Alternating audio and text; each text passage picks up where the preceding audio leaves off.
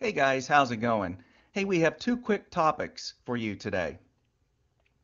For our first topic, we will briefly review Bruce Gary's current normalized flux graph for Tabby star. And for our second topic, we will do a quick review of what a typical flux profile looks like when a single planet transits across the disk of its star.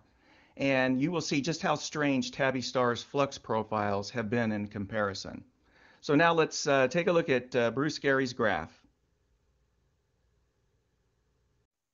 So this is the current normalized flux graph of Tabby star, and we have circled the very latest measurement in red.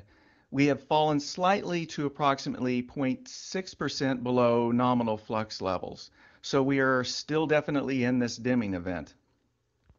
What happens from here is really anyone's guess.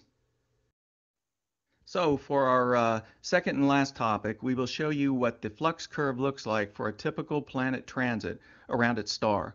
So the purple line is the flux curve you would expect to see uh, if you measured the flux of a star with a planet in orbit, viewing it from the vantage shown in the simulation above.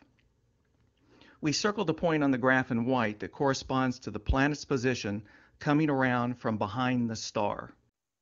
This second position shows the planet eclipsing the star. Notice the flux curve drops to form a steep U-shaped curve.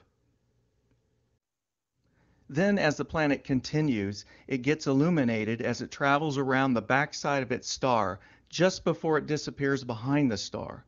The flux curve brightens slightly since you have the full brightness of the star plus the light from the planet added in. And then once the planet disappears behind its star, the flux drops slightly since we now have the total flux of the star without any additional flux from the hidden planet. And finally, the planet reappears again, and as it does so, the planet's contribution to the total flux abruptly rises at first and then subsides as it gets closer to its eclipse position. So anyway, um, here is a simulation of the total orbit and transit of a planet around its star showing you the flux profile as it does so.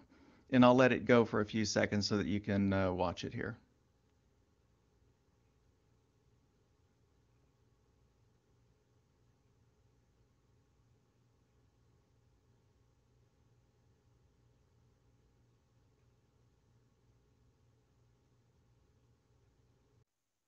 Well, guys, we will see you tomorrow, provided the weather cooperates with taking new measurements of Tabby Star.